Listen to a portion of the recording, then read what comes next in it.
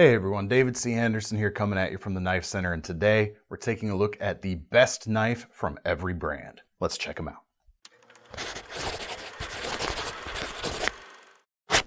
All right, so obviously I'm not talking about every single brand out there, um, but we are going to take a look at, uh, at some of the biggest brands out there today. Kind of pick one knife uh, from their lineup that's the best, a little bit uh, of what's the most iconic combined with level of performance, combined with some signature elements from the, the brand or some important parts from the brand's story. You're gonna find all of that distilled into this single knife model from each of these brands. And if there's one of these brands that you haven't bought a knife from before and you're looking to get into them, these would be a perfect place to start. Now, I didn't rank these in any sort of like hierarchy of best to worst or you know anything like that. We're just gonna go through these things alphabetically and we're going to start with Benchmade and the 940 Osborne. This one was kind of a toss-up in the Benchmade lineup between the Osborne and the Griptilian models.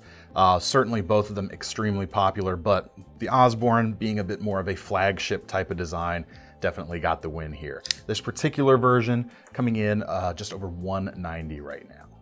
Now this particular design's been around for a little bit now, and it goes to show just how kind of iconic the design has been and how, you know, inimitable the design has been that in that time, there's still nothing out there that really looks like a 940. Like it's unmistakably this Warren Osborne design right here. This version comes with an S30V blade, but there are upgraded models available with some S90s and stuff like that. But for the uh, for the best one, we got to go with the classic with the green anodized aluminum handles with that ridged purple backspacer there on the back. Those handles are aluminum, some nice sculpting as you can see. Probably pretty advanced for the time when it was originally introduced and still nice to look at today. We've got a crossbar lock, which is Benchmade's Axis lock, their signature lock style. Allows you to do some cool things like that. Flicking the blade open and close, give it a little more uh, wrist action than that last one I did. But it lets you get open that uh, reverse Tanto blade shape, although there's a, uh, a, straight clip point available, nice narrow needle point, needle point as well but just a classic, I guess, you know, at this point you really can say it's a classic looking blade because it's, it's so well established at this point. Solid working knife in a nice gentlemanly package too. So it's a really nice blend between the blue collar and the white collar worlds. All right, next up, we're gonna go to Boker with their Lucas Burnley designed Kwaiken. And this is one of the Boker Plus lineup of knives, so that means it's one of their imported knives. Well, I guess pretty much all Bokers, uh, with very few exceptions, are imported to us here. Uh, but Boker is a German company, but the Boker Plus line is produced in China. And I think the Kwaiken here was probably the first thing that really made people kind of sit up and take notice of their, their more budget-oriented offerings with this solid design right here. Now there's a bunch of different versions of this at this point with different handle materials, uh, some flat, some like this with a little more contour to it. Uh, this particular one comes in at about 168 right now with a VG10 blade steel and a ball bearing pivot based flipper. But again, there's some automatic versions as well as different steels, bunch of different variants because this has been such a successful line. Blade itself on this one's about three and a half inches. We've got a hollow grind, some nice horizontal and vertical grain on the blade itself. It has a nice sort of custom level touch and kind of folded up. Whole blade really disappears into the handle, but for the flipper tab there on the back, got a single position pocket clip there. And that flipping action comes out quite nicely. Now the handle, of course, draws inspiration from the classic Japanese style of blade where the Kwaiken originates from. And you've got that kind of upswept, not an Americanized Tanto in this case, but a little bit of the echoes of the class, classic, almost said classic Tanto, the classic Tanto shape in the blade here. You get a little bit of kind of that trailing point uh, architecture and a lot of belly to take advantage of here. They've even made some uh, some fixed blade steak knife versions of this this design because it would work really well for that sort of thing. You're engaging all of that belly as you would if you're cutting through a steak on a plate. Just a really cool design, definitely worth a look. Um, also check out Boker's Urban Trapper. That, that very nearly uh, took the spot, I think, from the Kwaiken, but in the end, this is the guy. All right, next up, we're coming to Buck Knives, and there's probably nothing more iconic and more classic in their lineup than the 110. I think the coolest version has got to be the automatic version. What I like about this is It's kind of a blend of the old school and the new. On the old school side, you've got the classic brass bolstered versions with the wood handles.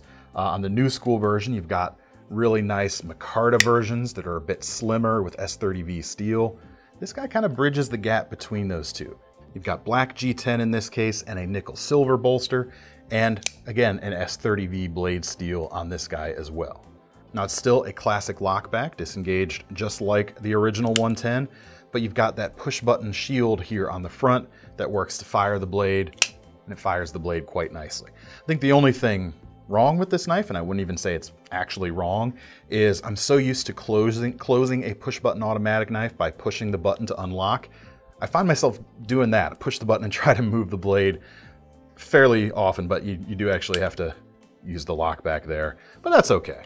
Just gives you a different level of appreciation or a different, different type of appreciation for this particular design.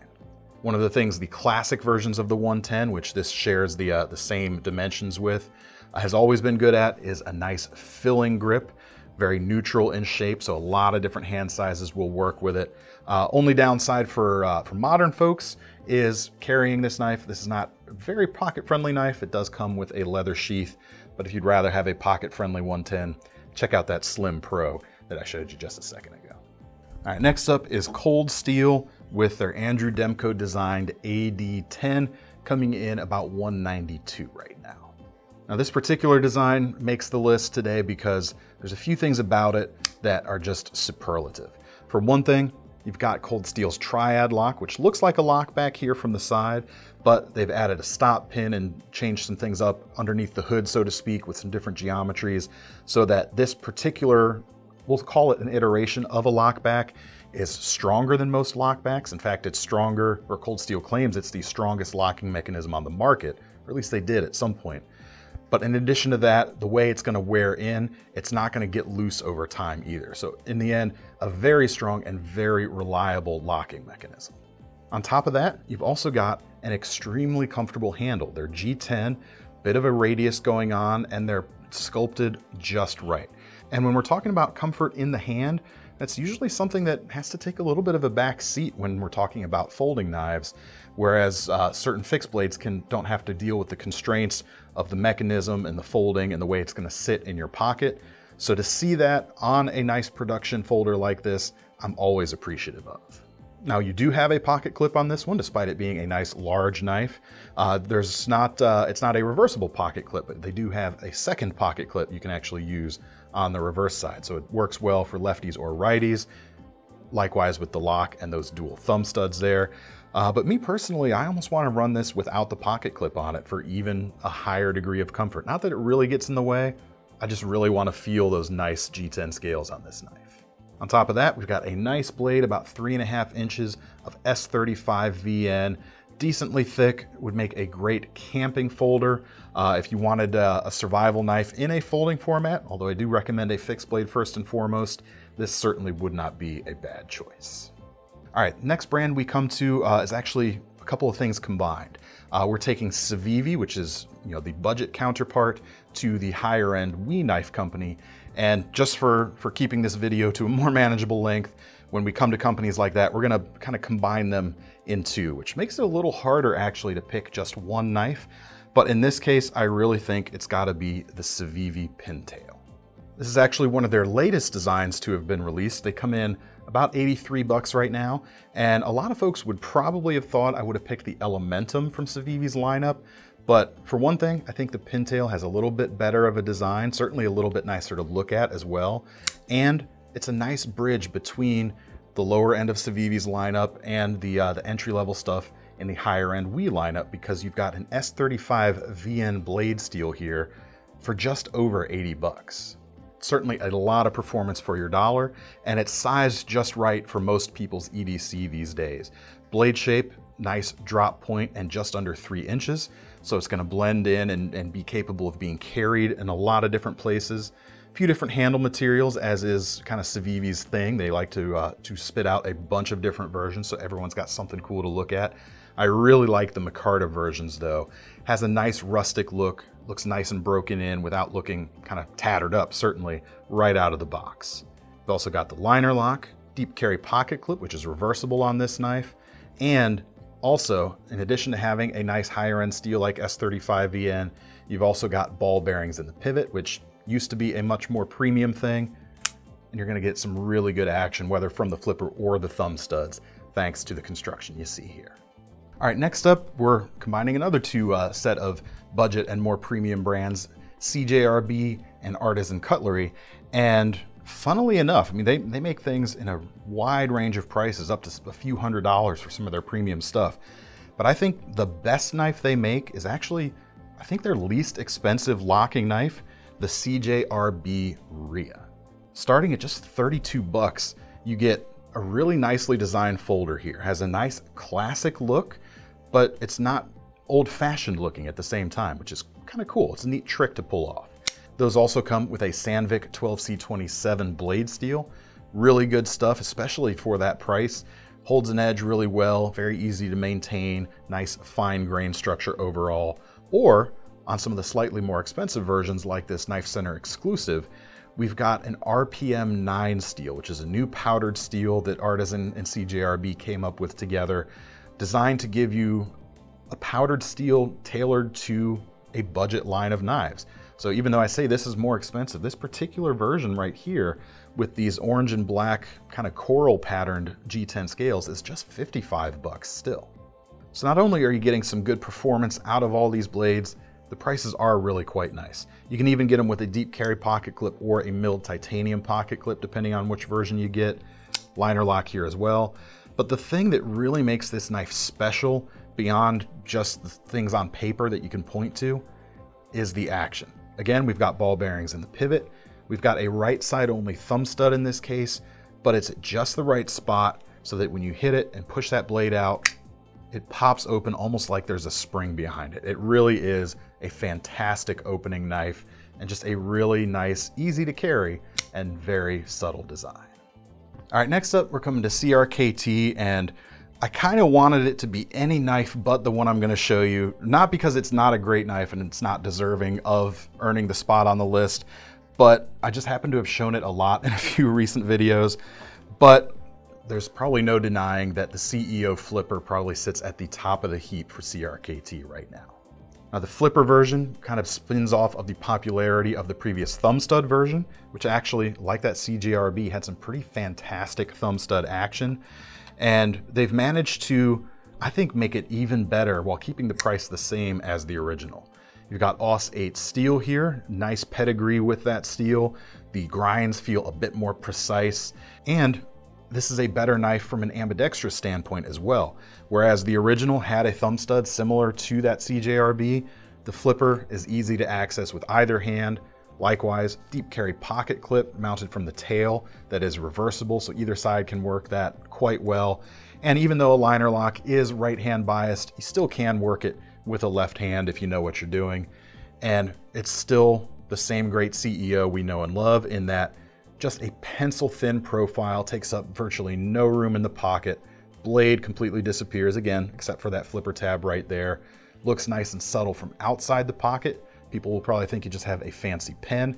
Maybe actually carry a fancier pen in case they ask to borrow it. You can actually hand them one.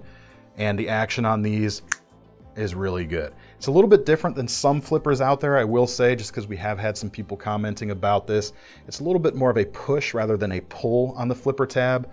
I never really had a problem with it, but for those uh, folks out there, once you get used to it, the action is right on. IKBS ball bearings in the pivot, $40 price point on this.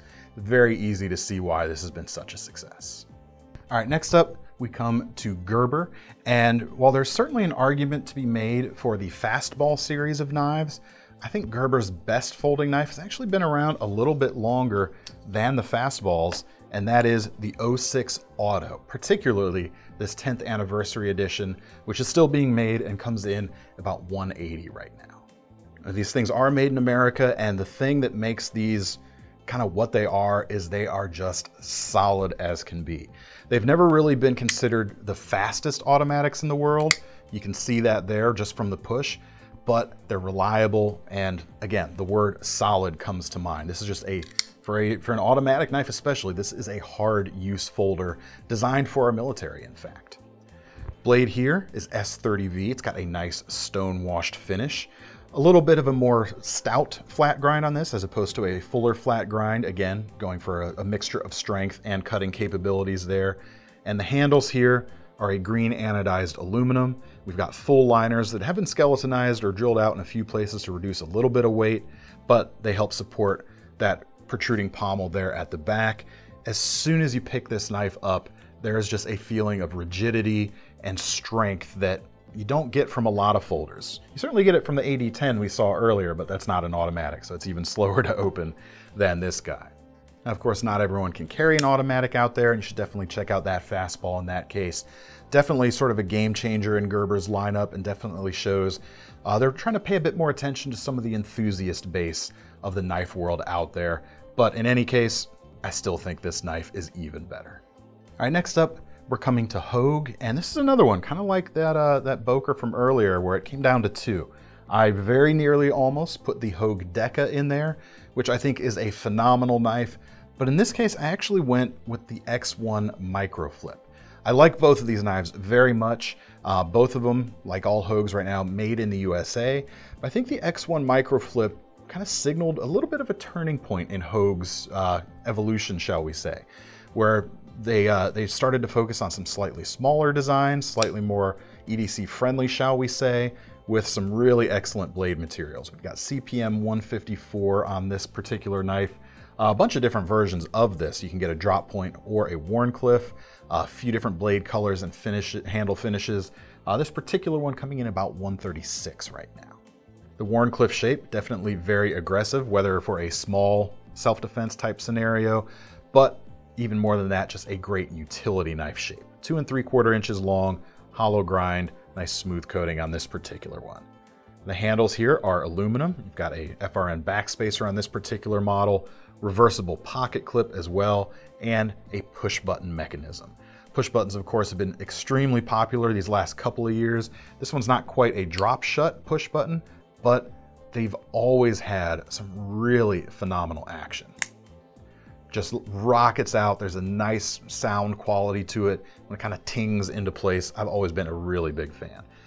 And if you are worried about a button lock becoming disengaged when you're really gripping a knife, which admittedly on a smaller design like this, which is only sort of a three and a half finger grip for my slightly larger than average hands, that can be a little bit more of a concern, but they give you a secondary safety there where you can lock that button down and really go to town without having to worry about it.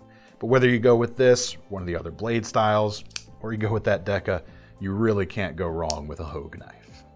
All right, next up, that brings us to Ka-Bar, who definitely are more known for their fixed blade lineup, but they do make some folders as well, including the Bob Dozier Folding Hunter. Bunch of different versions out there at this point. Not the, not the latest and greatest in terms of like whiz-bang technology or design or anything like that, but this is definitely one that has stood the test of time thanks to its very neutral design that's gonna work really well for just about anyone, a nice light weight, and a really affordable price. Uh, the full-size 3-inch version here starts at about 22 bucks with an AUS 8 blade, or you can get this D2 version for just 32 bucks as well, all while weighing in at a mere just over two ounces in your pocket. So very easy to carry. Very easy handle shape for all kinds of different handle sizes, as you can see. Plenty of grip from the injection molded material there. It's got a reversible pocket clip and a reversible thumb stud as well, so it works great for just about anyone. Blade length just under three inches.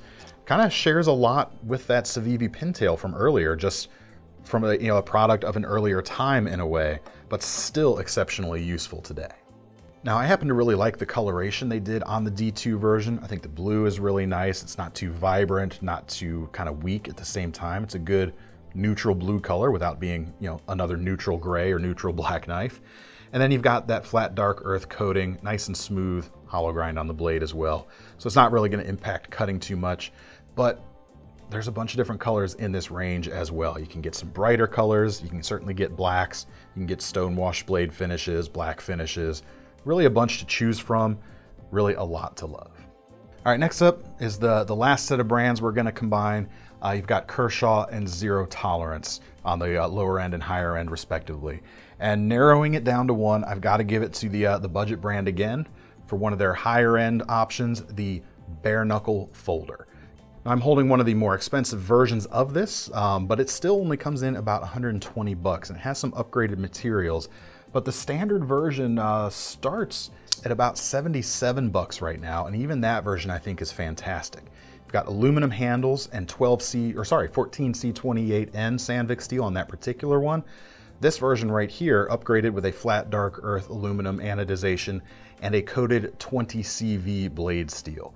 And at the $120 price mark, it's one of the least expensive uh, versions out there of any knife that you can get such a premium blade steel like this. Uh, in fact, I think the only ones that are less expensive are a couple other Kershaws. But this particular design, I still think takes it because one, it's just a fantastic looking design, but it's still got a very utility driven blade shape and handle, uh, kind of handle position. It also has their signature, patented actually, sub frame lock, where you essentially have the full lock bar from a frame lock, but anchored to some other handle material, in this case, aluminum. That way you can you know, use that lighter weight material in this case because they're using stainless steel for the lock bar.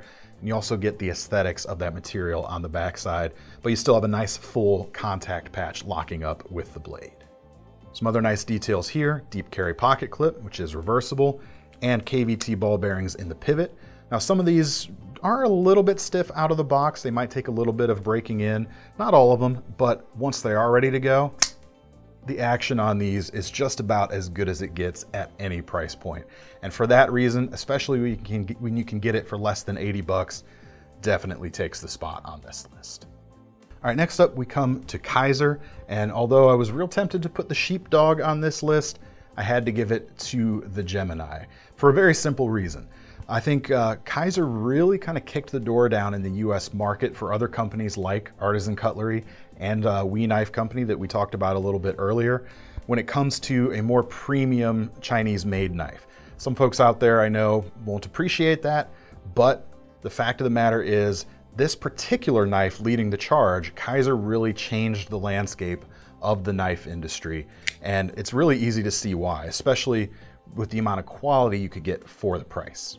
Now this particular one is actually one of the more expensive versions. Uh, actually, it's one of the only smaller sub 3 inch versions right now. This one comes in at about 290 with a Damasteel blade, but even the original with an S35 VN blade had a nicely contoured titanium handle, just like this one, ball bearings in the pivot, milled pocket clip, and importantly, world-class levels of fit and finish, truly. Like there was nothing to really actually complain about when it came to that knife. The action is quite good. The shape of this knife, another excellent EDC blade shape. And you've also got uh, a wide range of versions price-wise on this as well. Unlike the, uh, the Civivi and We kind of breakdown, Kizer's more budget-oriented stuff actually shares the Kizer name. They'll just call it a Kizer Vanguard instead. And actually, I've got the full-size version of the Gemini from the Vanguard line here at the bottom. Uh, somewhere just under 80 bucks for this, and you've got black linen micarta, N690 steel, a little bit longer, as you can see, there are the two different sizes right now, but just superlative action, superlative design, and really great fit and finish, no matter which version you pick.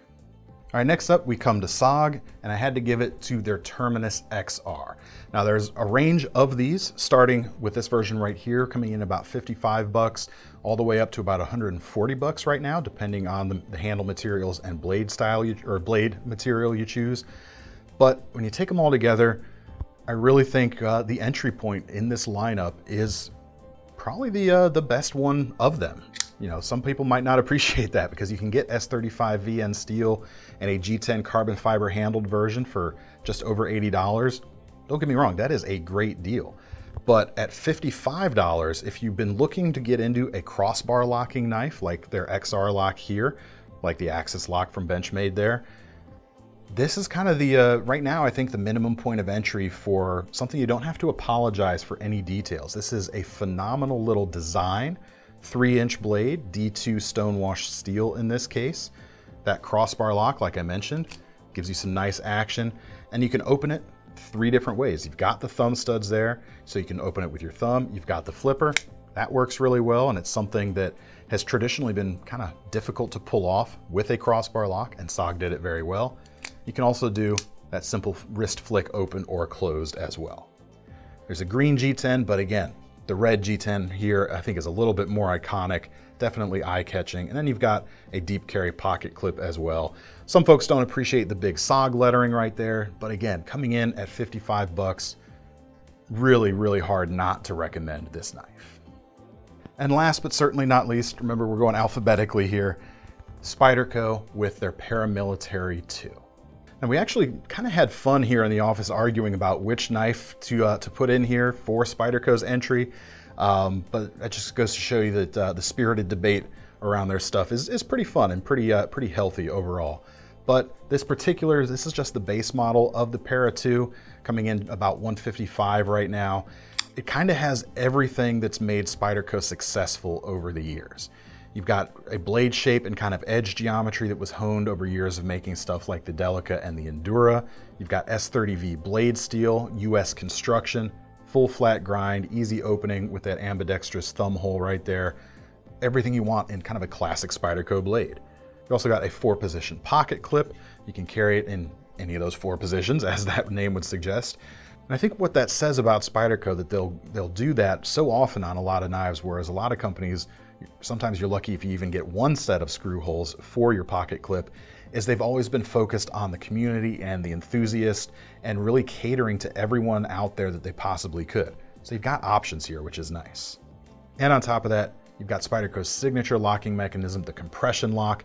You can kind of think of it like a frame lock from the spine of the knife rather than operated here from the front. Uh, but it's also got a little tab that sticks into the tang of the blade, so it's even more secure than a liner lock and gives you some really good one-handed action as well. Lets you keep your fingers out of the path of the blade, which I like. And actually, one thing I forgot about the blade, you've got that finger choil here spanning the area around the pivot between the handle and the blade. Again, another signature Spyderco element that lets you choke up on the blade and get a little more handle length out of what you normally would be able to get otherwise. But really, this knife has absolutely everything you could want in a Spyderco even if I'd take the Para 3 myself. But anyway, that's it. That is all for the list today. Let me know what you guys think for uh, for the best from every brand out there. What would you change? Uh, what are some brands out here maybe we didn't cover? Let us know your favorites on those as well. In the meantime, if you want to get your hands on any of these, we'll leave links in the description as always to take you over to knifecenter.com. And make sure you sign up for our Knife Rewards program while you're there. Because if you're going to spend your money on one of these knives, might as well earn some free money to spend on your next one. I'm David C. Anderson from the Knife Center signing off. See you next time.